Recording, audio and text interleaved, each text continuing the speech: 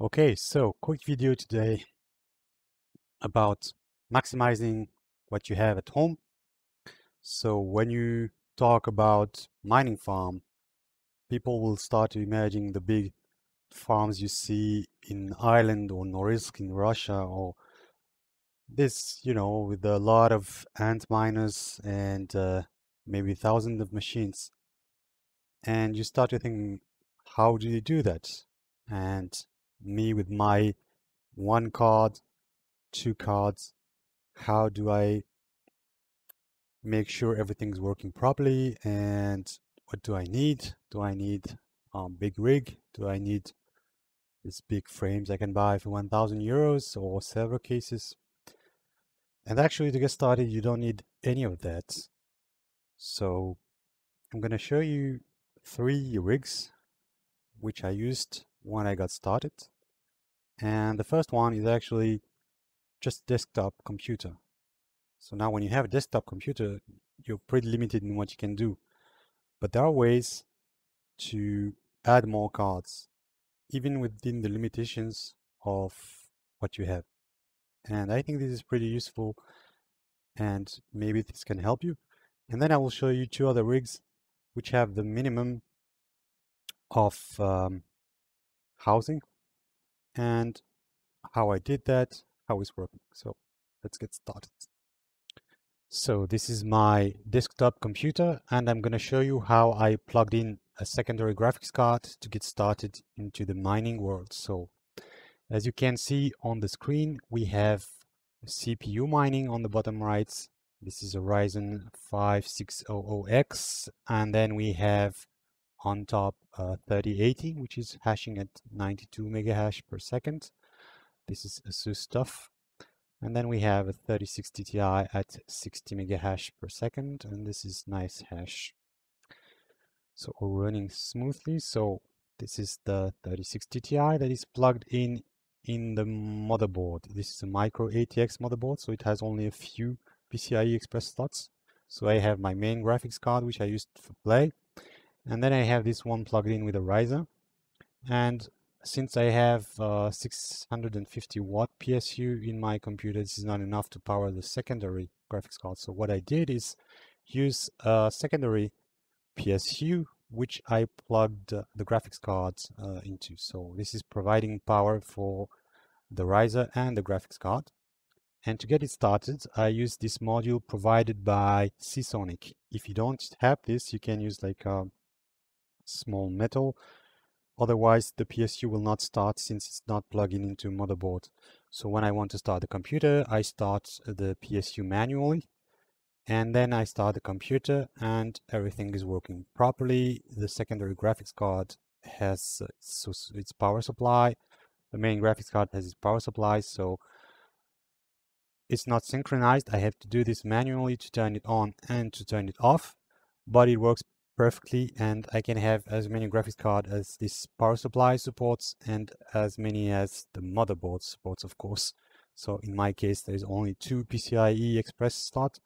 I could use a multiplier but this was just to get started. You get the idea. You can you can do more if you have more and there is no no risk this was running properly smoothly for many many days before I got my my full rig.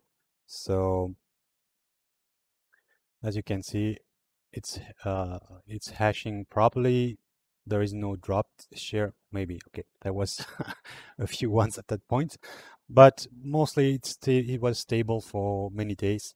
So as long as your power supply is uh, efficient enough, it's all plugged in properly, you have the drivers, it can run for several days without any major hiccup and you don't have to go and buy a new motherboard, new uh, full rig and a new CPU. You can just use your main desktop and plug in as many graphics cards as you can get your hands on which is probably not a lot for most people, but that's how it is right now.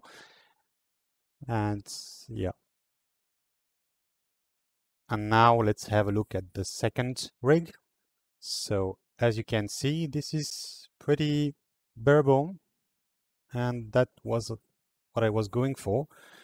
And I didn't immediately jump on eBay to buy one of these very expensive frames for what they really are which I think should cost a lot less if it wasn't for this crypto mining craze.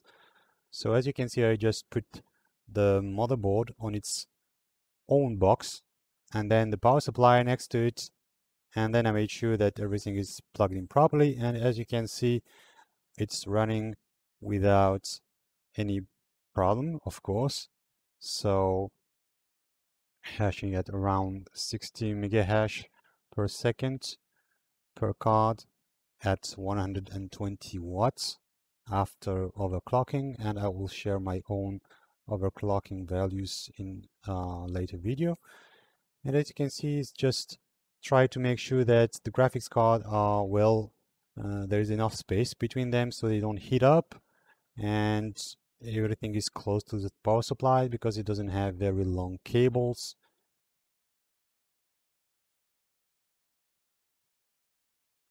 To make sure the heat doesn't stay I also put some fan. There is a big fan as you can see we're drawing around 840 watts at the wall.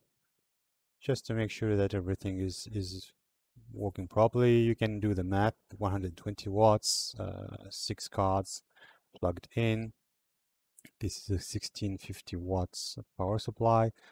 So the heat um, just in case there was uh, accumulation of heat I put a fan just a normal fan in front of the cards which you don't see on this video but this was running also for like one or two weeks without any graphics card overheating, without any uh, reboot.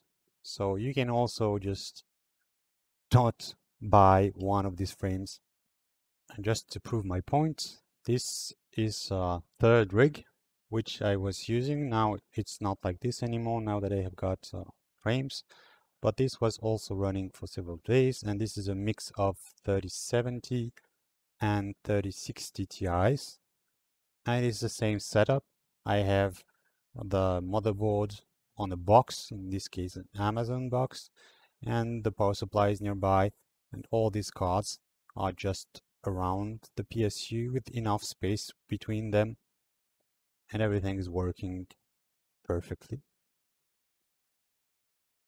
and you can do as many as you want as long as you have enough space and a table and no cat to jump on the motherboard.